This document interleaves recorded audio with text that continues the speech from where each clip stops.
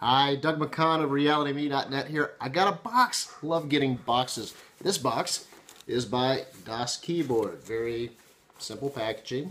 Inside of it will be the retail packaging. So let's set that cardboard aside. This is the Das Keyboard 4 Ultimate. Looks like that. Very simple packaging. Pop it open here. Inside of it, we're going to see they've covered the keys up to protect it. And you've got this nice, this is the, the piece that goes underneath the keyboard to support it up. And you'll notice it's a ruler. So on the bottom, it's got a couple of magnets to hold it to the underside of the keyboard. And you've got, looks like, several inches can't read. 1, 2, 3, 4, 5, 6, 7, 8, 9, 10, 11, 12, 13, 14, 15, 16 inches. 16 inch ruler goes underneath the keyboard. If you need to measure something, you pop it off.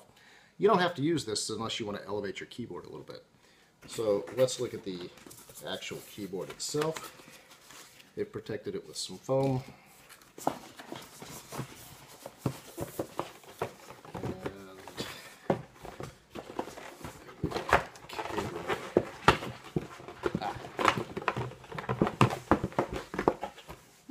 That's a nice cable. Okay. In addition to the keyboard, there's just your little one-page installation instructions. Requires no driver. Just plug it in and use it.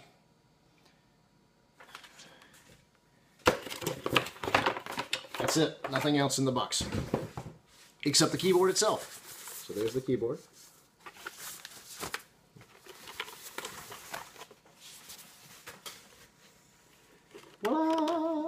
And you'll notice they forgot to print numbers and letters on the keys.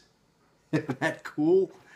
So you got a little volume control up here and some things. Now, here's what you got.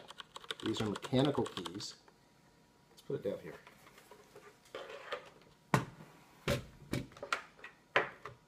So, this is the Mac keyboard. This is a membrane keyboard. This is Das keyboard, a mechanical keyboard, very similar to um, what we had in the 80s. You notice these are quieter keys. They're not as noisy as your Cherry Blues. I believe this one is MX Browns. So these are your Cherry Browns. I didn't get them labeled because I want to easily be able to switch between different keyboard layouts. Maybe I want to have Dvorak one day and QWERTY the other. I shouldn't need to be looking at the keys. Not having the keys labeled um, actually will conceptually make me a better typer.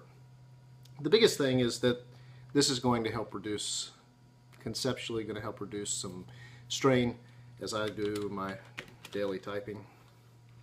You've got this to lift the keyboard up some if you want.